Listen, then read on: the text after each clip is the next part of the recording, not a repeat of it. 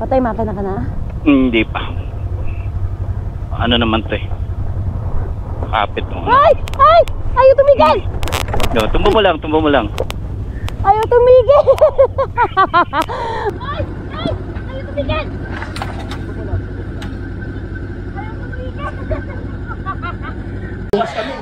Papasok ng pinatubo. The water is color blue. Kasi maulan noon ngayon, summer. Al dente.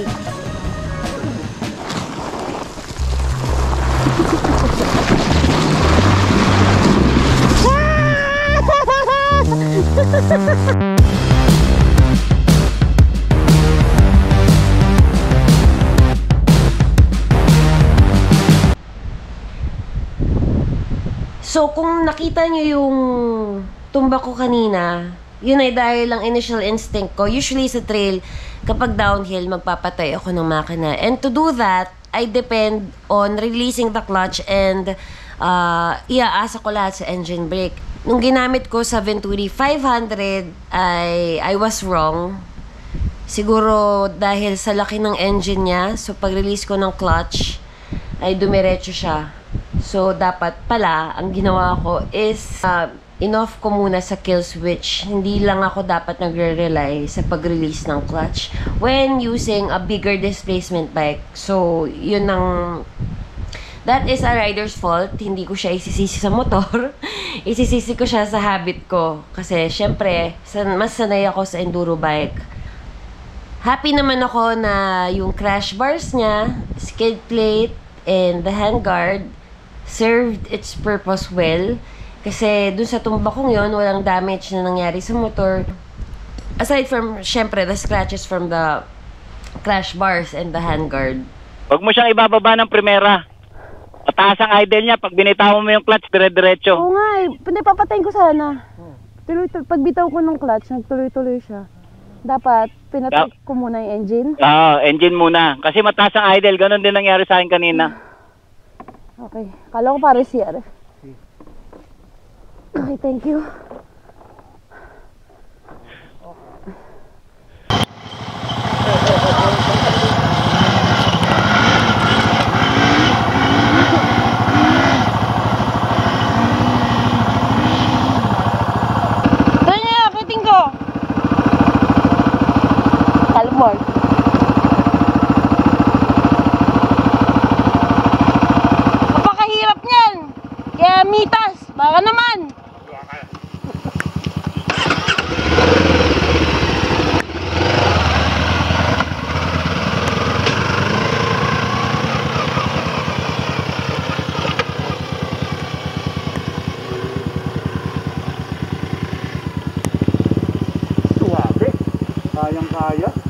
Terms naman sa handling, komportable siya for me.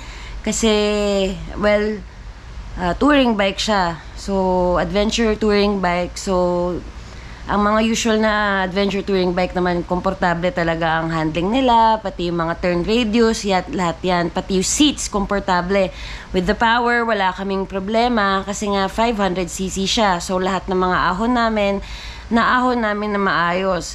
Um, medyo nahirapan lang kami pagka mga pababa kasi naka-dual sport tire. Well, masasabi mo pag dual sport is 60, 40, 60 road, 40 for off-road.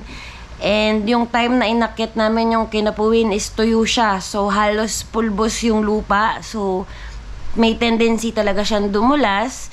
Lalo na pagpababa. Dahil kahit na nakabitaw clutch ka na at naka front and rear brake ka, dumadaos-dos yung motor dahil sa timbang ng motor.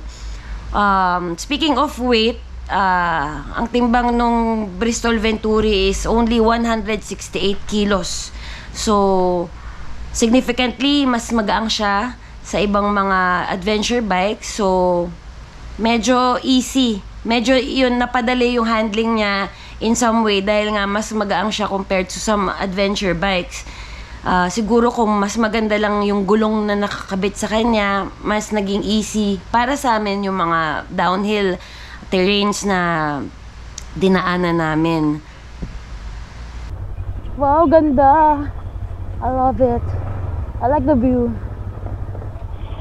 Hi guys, this is New Zealand in the afternoon. So tiring. Dudog tutuloy-tuloy din talaga pag yung binitawan mo yung throttle mo para mataas yung minor niya. Hmm. Kaya yung pag nakakambyo ka, binitawan mo yung clutch. Huwag kang bibitaw ng clutch na naka-primera, umaabante pa eh. Yun yung Anong in-offroad namin, ang setting na ginawa namin is uh,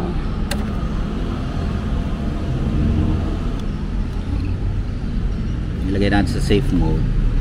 sinafe mode muna namin. Safe mode. Tapos sa ABS, yung ang off yung rear. Naka-off yung rear ng Ba- ABS. bakit naka-off yung rear? Mas kailangan kasi sa off-road yung naka-ABS pa rin yung unahan eh. Pero yung likod, mas ganda naka-off kasi para kung kailangan mo i-lock yung rear brake mo. Oo. Kasi usually pag pa-downhill, um, bitaw clutch lang kami.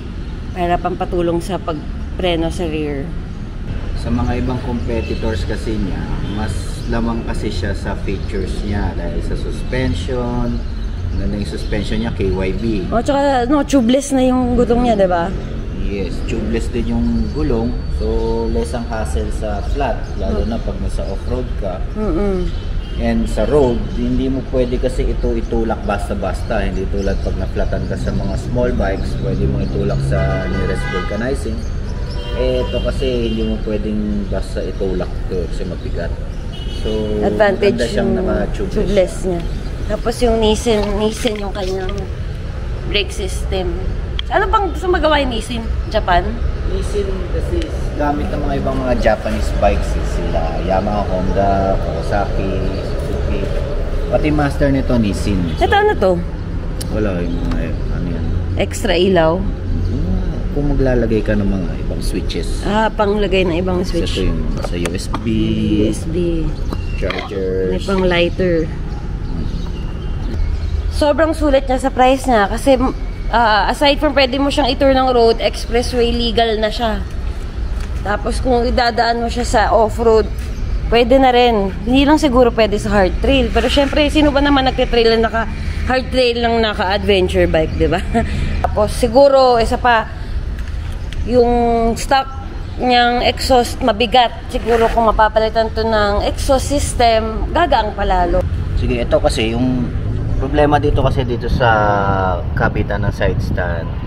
Tumatama lagi siya sa mga rats kasi nakausli. Siguro meron kung may kailangan pang improve yung skid plates or yung kabitan ng side stand. Yan lang sigurong isa sa ayoko tsaka yung yung center stand. Ayo, yung center Sabitan stand. lagi yung center stand. Sumasabit sa rats. Sumasabit sa mga racks, sa mga rats. Tapos Pero ang maganda naman dito, 'di ba kasi ito natatanggal?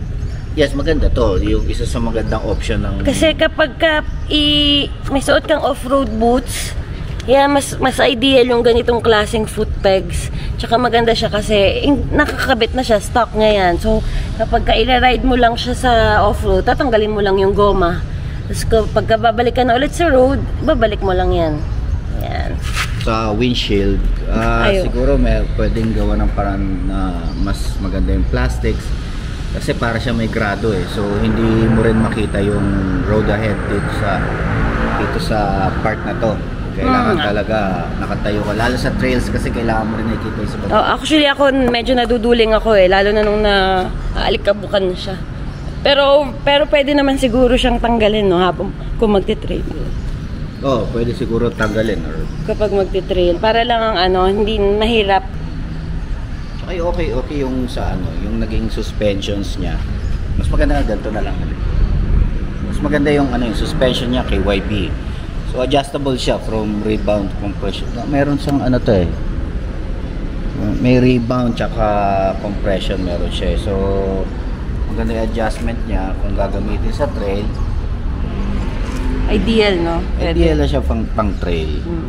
Kasi Kahit yung brakes niya, Nissin. Harap likod, front and rear, Nissin. hindi ka mag-worry.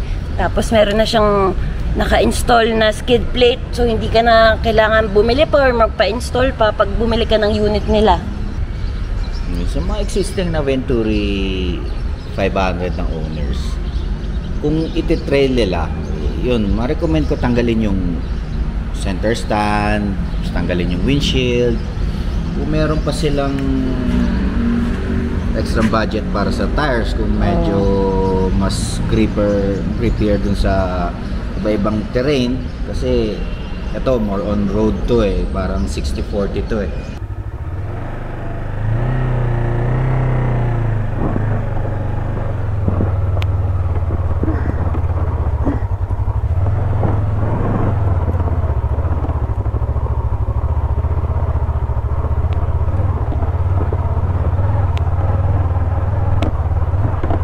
Ay, puta ka! Ang bigat!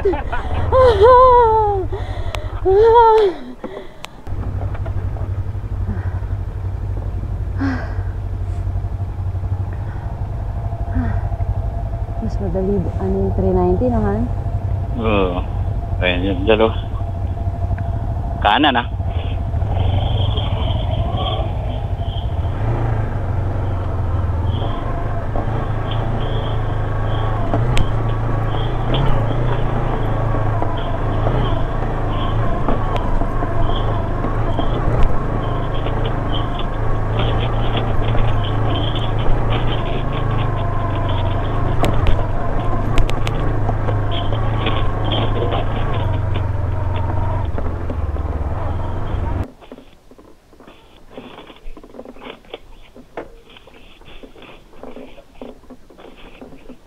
Ingat ka pa baba. Dahan-dahanin mo na, gapang-gapang ka lang. Siguraduhin mo na lang yung steps mo. Diyan na ako sa rat, sa kaliwa. Oh, ito, pa-safe ka dito. Hindi, dito sa gitna. Hindi, walang ano yan. Ha? Loose din yan. Sige, okay, nandiyan ka na eh. Oo nga eh. Sige.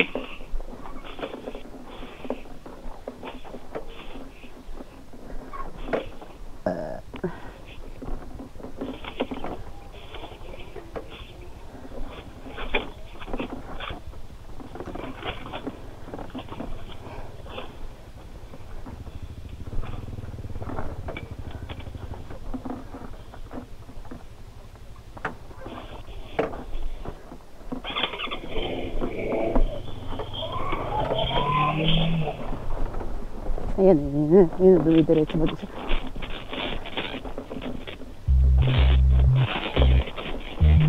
아!